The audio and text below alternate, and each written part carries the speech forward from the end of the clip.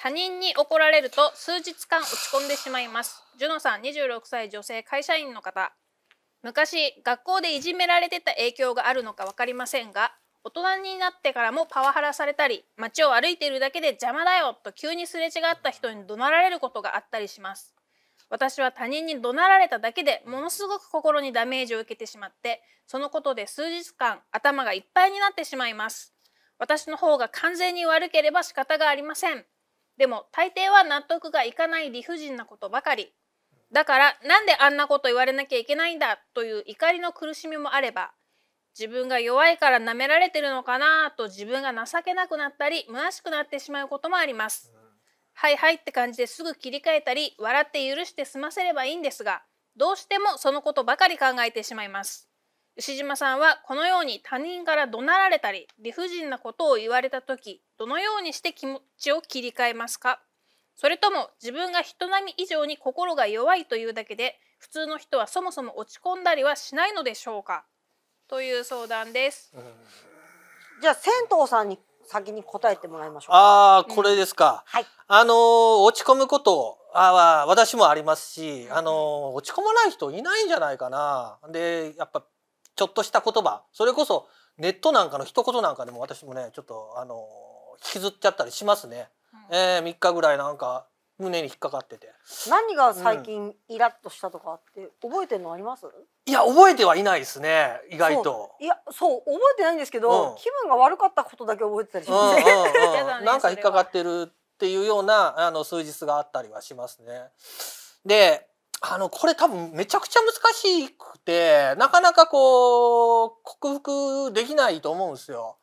あら自信がないって書いてるでしょ？多分こういうの多分うん結構年齢経ったら治っていくものとかじゃなくてずっとあると思うんでなんか、うん、ガツンと自信を持ちたいそのためにねねタトゥーでも入れてみますかどっかに。ダメでしょいやタトゥーいや悪いけどねタトゥー入れてる人ってこういうとこからだからね。やっぱなんか自信が落ちたりとか強みになりたいから入れる人とか多いと思うんですよやっぱ。言ったらじゃあどんなタトゥーがいいですか？えー。どのどの場所いやそれあのやっぱ顔とかそんなとこ見えるとこ入れたらいけないと思うんですやっぱお守りみたいなもんで、どっかにね。じゃあそれで威嚇するってわけじゃなく威嚇するってなくてそれがあると、うん、どっかに例えばあのどっかにあるとあると、うん、俺はち俺はじゃない私は違うと、そういうもので。ですか？妙なタトゥー入れたらまた 不安になりません？なんかこんなタトゥーいやいやそれあのやいか。いやだけどいるじゃないですかこういうこんな耳の裏だとか、入れてる人だとかあと足首の絶対見えないところだとか。あんなんもうなんかお守りなんじゃないかなっていう気の弱さのこの紛らわしで。で、何かジュノさんにタトゥーか、ジュノさん タトゥー入れたことでまた悩んだりするんじゃないかっていう心配もあるけど、かなりのでもね一生ものだからね。うんいやだから小さいタトゥーとかだとねその大丈夫じゃないかなと思ってて。でそれで何かいやそれで、その自信が持てて、あのー、そのこれからの人生歩めるのとずっとそのなんかちょっと気の弱い自分の中で背負って人生入れるのと全然違うんだよ。もう入れちゃえと。マジか ちょっとタトゥーの図案考えてください。もうこの相談が終わるまで。私、私の考えではこれはもうすぐ思ったのは、うん、舌打ち。じゃあじゃあだよとかドンとかされたら私はすぐ舌打ちするようにしてます。でもそこで何かこう気の利いたことをね返してやろうというと言葉が出てこなかったりしてその言葉が出ない自分にイラつくんです、結局言い返せなかったとか。声裏返ったりするしねそうそうそう。おおみたいな。そう。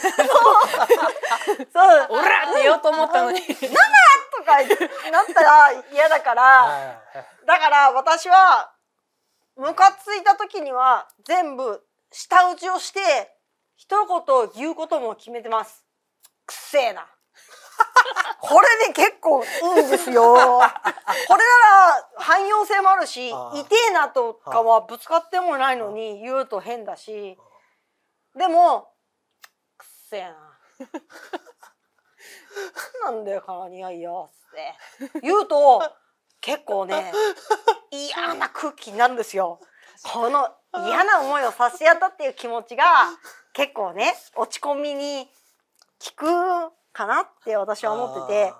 でこれね家練習すればいいんですよ。舌打ち。いやこれくだらないって思うでしょ。でも私は会社で挨拶しても無視するやつに舌打ちとくせえな。ここなんか臭くねえかっていうのを繰り返した結果相手がノイローゼになったんですよ。追い込んじゃったんですか？そこまで。いややっぱね邪悪には邪悪で返した方がいいと思うな。コ。メントでプって笑うことにしてるって。何かしらじゃあ反応した方がいいって感じなのそう。プって笑ういいんじゃない？うん。まあ、あの本当ね舌打ちはねすぐ聞こえるんだよ。舌打ちされると「あなんだあいつ舌打ちした」ってなるから。あそこかなあとはあの切り替えたりできないってやつ？うん。私もなんかね別に怒られたわけでもなくてもちょっとコミュニケーションなんか失敗したかもっていうと、うん。数日やっぱ気になったりしてしまうんですよ。